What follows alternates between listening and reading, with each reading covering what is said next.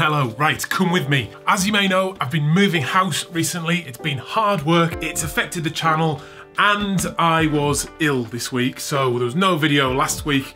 It's been a bit difficult, but now, but now it's all coming together and the new office is set up. I've got a few new bits to show you as well.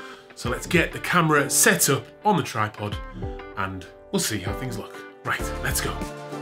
How's that looking? Is it okay? I can't decide if I need the blind up or blind down. Let's have a look. Blind up. Blind down. I think I'm gonna have blind up today. It's a nice sunny day, so I can also adjust the strip lights behind me to a different color. Got red there, nice little blue hue, green, Philips Hue system, pretty cool. Right, I think we're ready, so let's go. So a really important part of a nice photo and video editing setup is to have a nice space to do it in. And I'm not really talking about size or anything like that, but just a place where you can go, you can concentrate and get your work done. I've had it where it's just been a computer in the corner of a room. At the last place, I had a full blown home studio. Now that I'm here, I've got this office, which is a bit smaller, but the kids needed a bit of extra space. So it's a compromise that I've made, but it's still a nice space. It's peaceful and it just allows me to get on with my work and really be creative and productive. So that's the first thing. I've also got this really quite nice new desk that I've invested in just to really enhance that and get everything I need into the setup. As I've mentioned a few times before, on top of all of this I'm doing, I was also running a part-time job just to keep a little bit of security for the family and things. But about three weeks ago, I quit that job and I'm now full-time at this. What, whatever this is, photographer, filmmaker, YouTuber, not quite sure, but I'm gonna be doing a lot of different things on and off the channel moving forward, but they are all going to include photo and video creation and therefore editing. So I wanted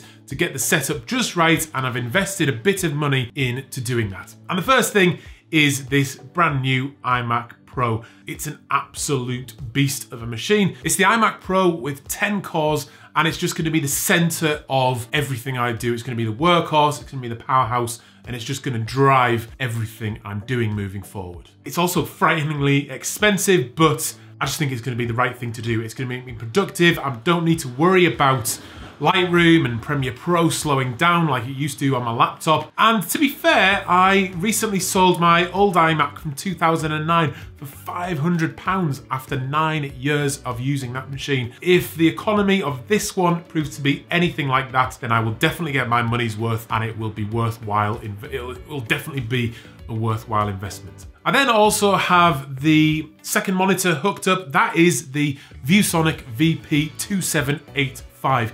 It's a monitor that's been created specially for photographers.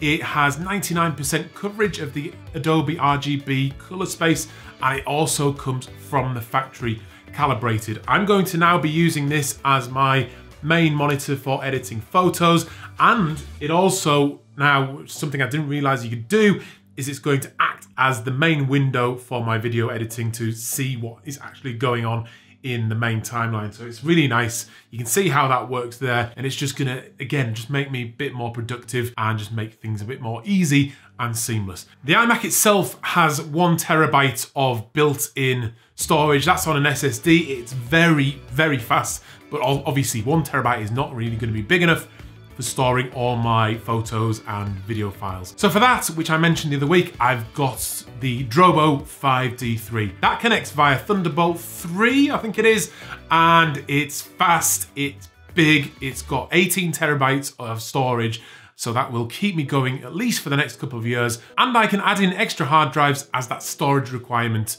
comes up in the future. Next thing, since my livelihood now depends completely on this setup, I have invested in a battery backup system. With the move, I had a couple of times when the power tripped out and the computer and the Drobo died. And when I turned it back on, on one occasion, the Drobo just wasn't working. Thankfully, I managed to get it going again, but having that fail and losing files temporarily and having to restore things from backups takes time. I don't want that. So I've now invested in this battery backup system. If the power now dies, everything's plugged into that and it will keep everything going for about an hour or so until the power comes back on and I can get everything saved and shut down the computer safely so I don't risk losing any files. If I'm out when that happens, the Mac has a built-in management system that will shut everything down as well. So it's a really nice thing to have and it's just gonna keep me going and keep everything safe so I don't lose out uh, when things go wrong. Next up, we have the printer here. This is the Canon Pro 10S. It's a really nice printer. I've had it for a little while now. All the prints that I sell are printed using that machine. I'm going to be making a video about printing coming up pretty soon, so we'll talk about that a bit more then. So as you know, as you're sitting down, you're editing videos, you're editing photos, it takes time and it can get tiring sitting at the screen, so you need a break from the screen every now and again. And for that, I've got a little bit of entertainment. I have the guitar.